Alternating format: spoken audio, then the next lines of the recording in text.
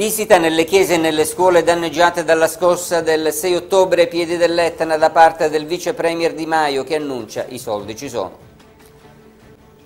Al via una raccolta di firme dei genitori della media Sturzo di Biancavilla per chiedere la frequenza di mattina. Si chiede fra l'altro la riapertura della vecchia Bruno.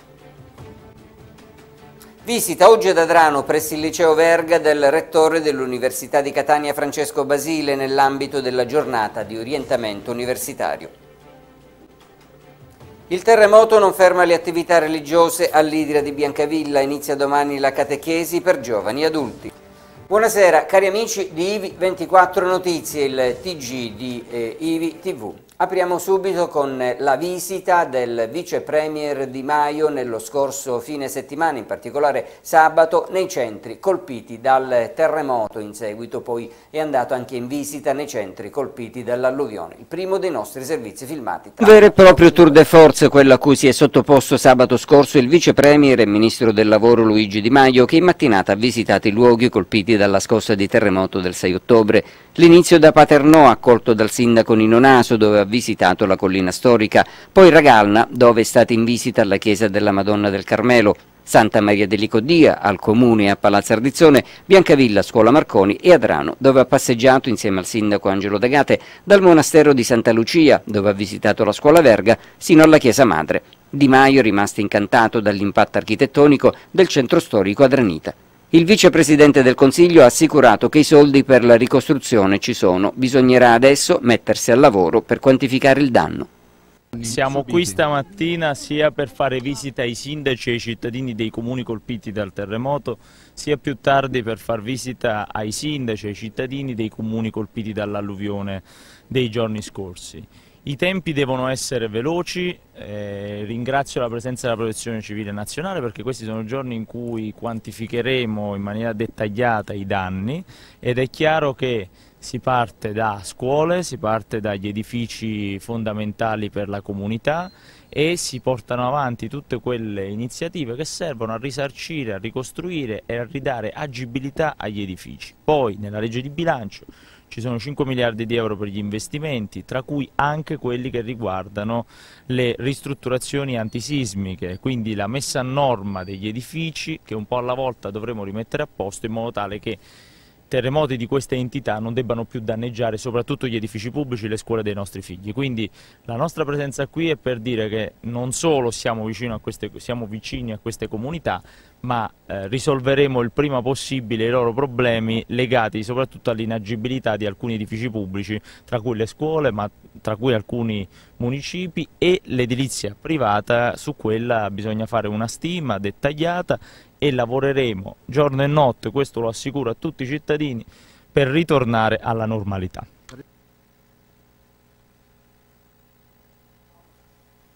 Dopo la visita dei funzionari della Protezione Civile Nazionale, anche la Chiesa Madre di Adrano è stata chiusa al culto per garantire una maggiore sicurezza dei fedeli che potranno continuare a seguire le funzioni religiose presso la Chiesa di Santa Chiara.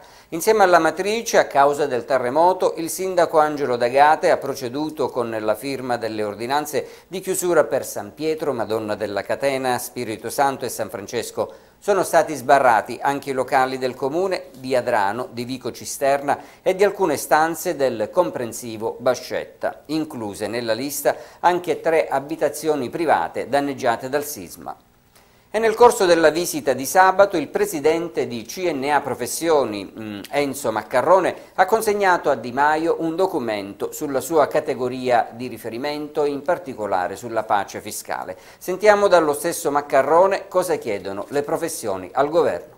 Enzo Maccarrone, eh, presidente del CNA Professioni Catania, eh, stamattina approfittando della visita del vice premier Di Maio eh, ha consegnato una lettera per quanto riguarda la categoria. Di cosa si tratta?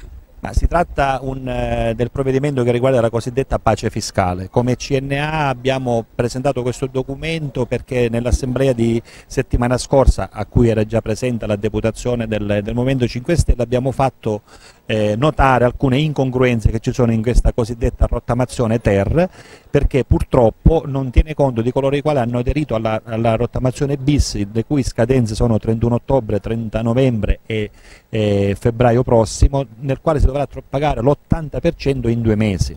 Noi riteniamo che sia più giusto sospendere gli effetti di questa rottamazione bis e fare in modo che chi ha aderito a quella possa aderire alla rottamazione ter, anche perché in questa nuova proposta di legge si parla di uno stralcio totale delle cartelle fino a 1000 euro eh, fino al 2010 che verranno del tutto cancellate, quindi ci sembra una grossa ingiustizia nei confronti di chi ha già manifestato l'intenzione di pagare e che invece oggi si trova a dover magari andarsi a prestare i soldi per far fronte a questi debiti.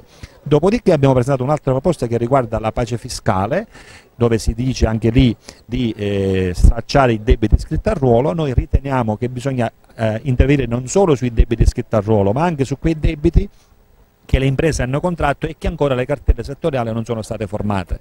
In quel caso questi debiti rimarranno fuori da questa pace fiscale e invece riteniamo che se si vuole veramente parlare di pace, di chiudere col passato, bisogna fare in modo che anche questi soggetti possano pagare con una dilazione ragionevole e soprattutto senza eh, la, il grosso peso delle sanzioni e degli interessi. Di Maio attenzionerà questa proposta? Ma sicuramente sì, è chiaro che abbiamo parlato con eh, gli più stretti collaboratori, abbiamo consegnato anche al nostro deputato di riferimento, che è il deputato Saitta, eh, nostro intendo di questo collegio, non che io sia del Movimento 5 Stelle, ma quando c'è una persona che viene eletta in un territorio è giusto che eh, tenga conto di quelle che sono le stanze del territorio e noi ci rivolgiamo a loro proprio perché facciano il proprio dovere.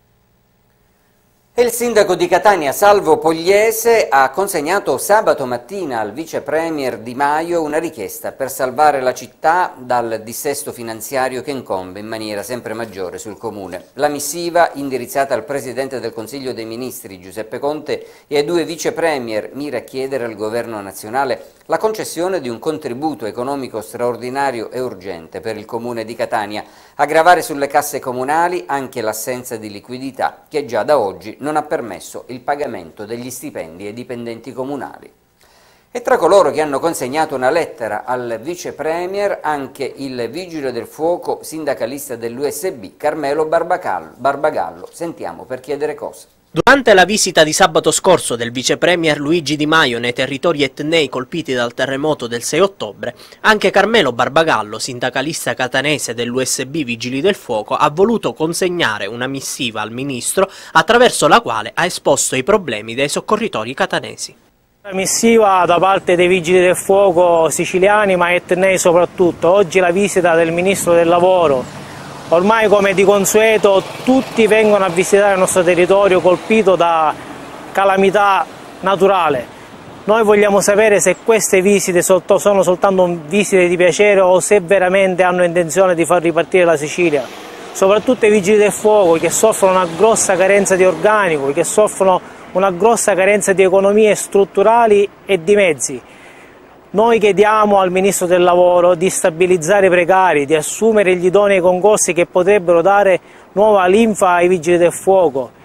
I precari si stanno preparando, vogliono essere messi alla prova e da lì vedere chi effettivamente può fare l'operativo, può essere eh, messo in altre mansioni. Noi chiediamo un forte intervento, diciamo basta alle visite di piacere, vogliamo vedere i fatti. A breve sarà la volta nuovamente del sottosegretario agli interni Candiani che verrà a visitare nuovamente Catania. Verrà a visitare per la questione del dissesto finanziario del comune di Catania, però noi gli manderemo una missiva anche a lui perché vogliamo che Catania venga rispettata come città metropolitana anche per il soccorso tecnico urgente. Vogliamo risposte certe per le assunzioni, per i mezzi e per il rilancio del soccorso tecnico urgente. I carabinieri della compagnia di Paternò, nel corso di un servizio di controllo del territorio, hanno arrestato un trentenne paternese in esecuzione di un ordine di espiazione di pena detentiva emesso dal Tribunale di Catania, condannato per furto aggravato commesso eh, a Catania nel 2016. Durante il, i controlli sono stati inoltre denunciati un 45enne per detenzione e spaccio di sostanze stupefacenti, un 67enne, un 52enne e un 29enne per aver violato le prescrizioni imposte dalla misura preventiva e una donna di 79 anni per omessa eh, denuncia di un'arma appartenuta al marito defunto. Segnalata all'autorità prefettizia anche un ventenne perché trovati in possesso di sei dosi di marijuana detenute per uso personale. Durante i controlli sono stati eh, sottoposti mh, mm, a controllo 45 persone e 33 veicoli, di cui 3 sottoposti a fermo amministrativo ed elevate contravvenzioni al codice della strada per oltre 8.000 euro. Il personale del commissariato di polizia di Adrano hanno, mh, ha arrestato il pregiudicato biancavillese Davide Sant'Angelo, di 28 anni, destinatario di un ordine di carcerazione per l'espiazione della pena di 5 anni, un mese e 5 giorni per il reato di associazione a delinquere di stampo mafioso, in quanto appartenente al clan toscano Mazzaglia Tomasello. L'uomo era stato arrestato l'11 ottobre del 2014 nell'ambito dell'operazione Garden, insieme ad altre sette persone gravemente indiziate a vario titolo di reati in materia di armi ed estorsione. Al via questa mattina mh, a Biancavilla alle elezioni per i consigli di classe della scuola secondaria di primo grado Sturzo una raccolta di firme che verrà presentata all'amministrazione comunale nella quale si chiede il ripristino delle elezioni mattutine in locali già individuati. Sentiamo. Cresciuta ed alimentatasi nelle chat scolastiche, la rabbia della scuola Sturzo di Biancavilla, costretta ai doppi turni a causa dei danni subiti nel terremoto, è esplosa oggi in una raccolta firme nella quale i genitori chiedono sostanzialmente la frequenza mattutina per i propri figli. Nella petizione si chiedono sostanzialmente quattro cose per riprendere le lezioni al mattino.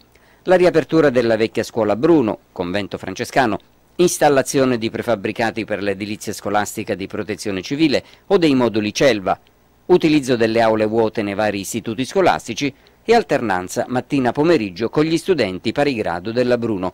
Al nostro microfono, grazie a Ventura, in rappresentanza dei genitori.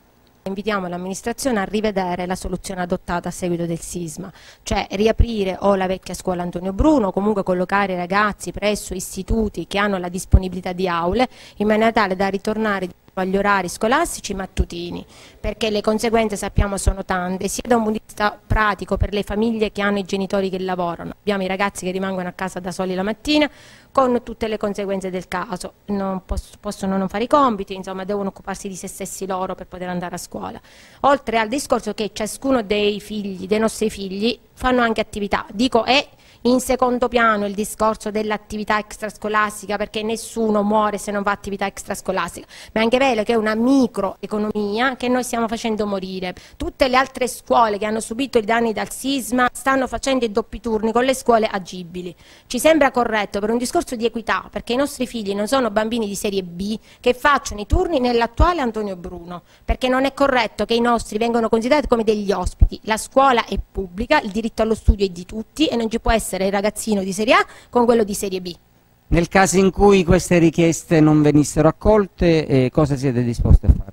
Le famiglie mi hanno anche invitato, qualora fosse necessario, di intervenire privatamente e vedere quali sono questi danni, del perché non sono riparati. Poi alla fine andremo avanti. Per certo il gruppo Mamme non si fermerà. Cioè noi entro l'anno nuovo, se è possibile, vorremmo entrare a scuola. Se non è possibile, troviamo una, soluzione, una di queste soluzioni proposte. Ma noi a gennaio pretendiamo di rientrare a scuola. Incidente sulla bici a mezzogiorno di ieri nell'area del Parco dell'Etna in territorio di Adrano sul sentiero che da Prato a Fiorito raggiunge Monte Intraleo nei pressi del rifugio Casa Zampini. Protagonista un ciclista dranita di 25 anni. Secondo quanto ricostruito il biker che procedeva in gruppo sarebbe caduto a causa di un ostacolo sulla pista ferendosi all'addome con il manubrio. Gli altri ciclisti, spaventati per il colpo subito dal compagno, hanno chiesto immediatamente i soccorsi che sono giunti grazie alla sinergia fra i vigili del fuoco di Maletto, Corpo Forestale 118. Sono state le jeep a condurre i soccorritori sino al ferito e a condurre questi sino all'ambulanza che attendeva Piano dei Grilli a Bronte, poi la corsa sino all'elipista brontese e il trasferimento al Cannizzaro di Catania in elisoccorso. Il referto medico, medico del Trauma Center del Cannizzaro ha evidenziato per fortuna solo contusioni per il ciclista. Si è svolta questa mattina al liceo Verga di Adrano una giornata di orientamento universitario promossa dal preside Enzo Spinella, presente anche il rettore dell'Università di Catania, professore Francesco Basile. Per noi c'era Maria Grazia Castro. Si è svolta questa mattina presso l'auditorium dell'Istituto Verga di Adrano una giornata dedicata interamente all'orientamento universitario per facilitare l'acquisizione da parte degli studenti del liceo delle informazioni utili per meglio scegliere la facoltà da frequentare una volta concluso il percorso scolastico della scuola superiore di secondo grado. A fare gli onori di casa il dirigente scolastico Enzo Spinella che ha accolto e presentato agli studenti il rettore dell'Università di Catania Francesco Basile. Li abbiamo sentiti ai nostri microfoni. I ragazzi ormai con eh, tutti i mezzi informatici sono abbastanza al passo con quella che è la possibilità di istruzione e di formazione, quindi si tratta di fare capire a ognuno di loro qual è eh, la loro predisposizione migliore e quindi dobbiamo offrire uno spettro in, varie, eh, in vari eh, settori, dal giuridico economico allo scientifico, dal eh, linguistico al matematico, in maniera da poter far sì che i ragazzi possano capire eh, qual è loro, eh, loro, quale potrà essere la loro occupazione futura e quindi aiutarli a formarsi secondo quello che loro sceglieranno. Noi possiamo tenere diversi corsi, a parte che eh, su progetti già finanziati eh, dall'Unione Europea e quindi terremo dei corsi di lezioni che potranno essere anche poi utilizzati come crediti a livello universitario e poi terremo il corso di formazione per medicina e le, e le professioni sanitarie come già era avvenuto negli anni precedenti e lo terremo proprio presso il loro liceo, presso il liceo di Adrano in maniera da facilitare eh, la possibilità di frequenza ai ragazzi del, del liceo frequentano dei percorsi di orientamento in uscita che eh, valorizza quelle che sono le loro attitudini, le loro aspettative nonché le loro, le loro capacità. Eh, grazie all'università cerchiamo di ricercare nuove identità, nuove eh, verità, chiamiamole così, creando quella che in osmosi tra loro e noi, eh, loro che intercettano in noi quelli che sono i bisogni formativi e loro che curvano la loro offerta formativa su quelli che sono i bisogni dei nostri studenti. In occasione del quarto anniversario dell'omicidio di Veronica Valenti, vittima di femminicidio, venerdì scorso 26 ottobre l'associazione Belpassese Antiviolenza for Life, della quale presidente Giuseppe Valenti, padre di Veronica, ha promosso un'iniziativa presso il Giardino Martoglio di Belpasso consistente nell'installazione di una cassetta rossa delle lettere per rendere più semplice la denuncia di tanti abusi.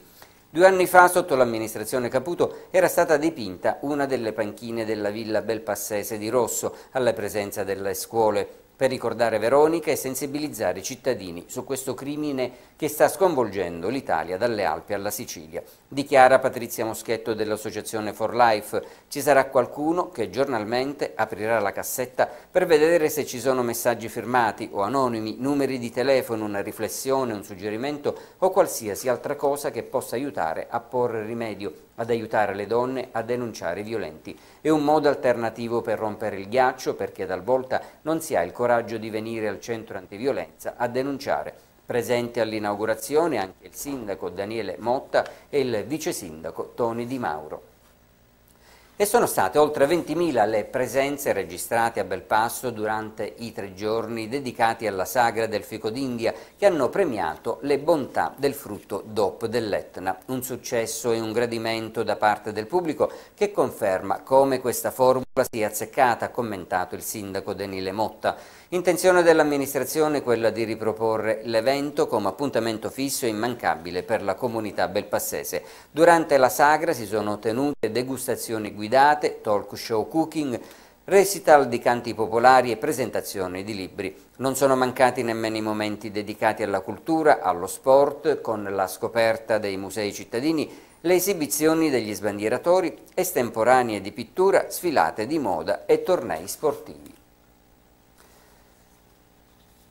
Nonostante il terremoto abbia rallentato le attività religiose, all'interno della chiesa dell'Idria Biancavilla il parroco Salvatore Nicoletti con le comunità neocatecumenali procedono la loro missione evangelizzatrice sul territorio parrocchiale. Da domani al via la catechiesi per giovani e adulti. Sentiamo il servizio di Luca Crispi. Prenderanno il via domani alle 19.30 all'interno del salone parrocchiale della chiesa Santa Maria dell'Idria di Biancavilla per 15 incontri serali nei giorni di martedì e venerdì le catechesi per giovani e adulti promosse dal parroco Salvatore Nicoletti e dalle comunità neocatecumenali che ormai da un quarantennio portano avanti sul territorio questa nuova forma di evangelizzazione. Il percorso di fede è nato in Spagna negli anni 60 su ispirazione della Madonna a Chico Arguello, a cui si affiancò poi Carmen Hernandez e padre Mario Pezzi. Un cammino appoggiato sin dalla sua nascita dai grandi papi come Paolo VI, Giovanni Paolo II, oggi santi, Benedetto XVI e Papa Francesco. Quest'ultimo, proprio nello scorso mese di maggio, ha festeggiato insieme a migliaia di fedeli a Tor Vergata i 50 anni di questa iniziazione cristiana post-battesimale, esortando il cammino a proseguire nell'impegno per l'evangelizzazione. L'invito a partecipare a questo percorso catechetico è rivolto a giovani e adulti di ogni età, siano essi già inseriti all'interno della parrocchia o appartenenti ai cosiddetti lontani che vorrebbero approfondire o riscoprire la propria fede. Chi è Dio per te? Chi sei tu? Perché vivi? E cos'è la Chiesa? Sono solo alcuni degli interrogativi a cui il percorso proposto dal cammino neocatecumenale cercherà di dare delle risposte concrete. Per le coppie con figli sarà offerto anche un servizio di babysitter gratuito. E siamo al calcio, domenica da dimenticare per il Paternone il girone B di eccellenza. L'11 rossazzurri infatti patisce una sconfitta interna. Il San Pio esce dal falcone Borsellino con l'intera posta e il Paternò è costretto anche a cedere la testa della classifica. Turno di riposo invece per il Biancavilla. Sentiamo. Battuta d'arresto casalinga per mano della San Pio X per il Paternò che nell'ottava giornata del girone B di eccellenza perde un'occasione d'oro per staccare in classifica i cugini biancavillesi che hanno osservato il turno di riposo così come previsto dal calendario ed il Camaro sconfitto a Giarre nell'anticipo del sabato pomeriggio, oltre che a rimanere sulla scia del Palazzolo vittorioso sul difficile campo del Milazzo. Al Falcone Borsellino l'11 paternese inizia a subire sin da subito il pressing ospite. Al sesto minuto arriva l'episodio che sblocca il match che fisserà in seguito il risultato definitivo. Punizione di Privitera che si imbatte sulla barriera e si spegne in calcio d'angolo ed è proprio dagli sviluppi del successivo corner che Bagie trova la deviazione vincente spezzando l'estremo difensore paternese Caruso. La prima vera reazione del Paternò arriva al diciottesimo quando Raimondi di testa non riesce a finalizzare uno splendido cross d'esterno di Cordaro. La Sampio non molla e tenta il raddoppio in più di un'occasione, non riuscendo a sorprendere la retroguardia padrone di casa, ma arginando fino alla fine le ripartenze paternesi. Archiviato lo splendido 3-0 casalingo imposto appena sette giorni fa al Motta, uno sfortunato Bronte è costretto a cedere 1-0 sul campo dello Sporting Via Grande nell'ottava giornata del girone C di promozione. Al vantaggio dei padroni di casa, l'11 ospite trova due traverse, entrambe firmate da Alleanza, che per ben due volte su calcio di punizione trova i legni. Amare in bocca anche a causa del calcio di rigore battuto da Saccullo e neutralizzato dall'estremo difensore dello Sporting Via Grande. Sconfitta per l'Adrano Basket in casa della cestistica torrenovese nella quarta giornata di Serie C Silver. Pesante il risultato finale, 97 a 76 per i padroni di casa. Tuttavia nel corso del match il quintetto Adranita ha mostrato buone trame di gara dando filo da torcere per tre quarti. Le armi sono state deposte soltanto nell'ultimo quarto di gara quando la Torre Novese ha allungato decisamente. Mercoledì alle 20 presso la tenso struttura di Adrano i locali se la vedranno con il Gravina per la quinta giornata del campionato di Serie C Silver. Siamo in chiusura, vi ricordiamo come sempre che potete rivedere questa edizione di IVI24 Notizie su ivtv.com o iv24.it, potete contattarci con la mail di redazione redazione chioccioliv24.it o telefonare allo 095 899 7931. Potete seguirci anche sui social che vedete in sovraimpressione. È tutto, buon proseguimento di serata con i programmi di IVTV. A risentirci.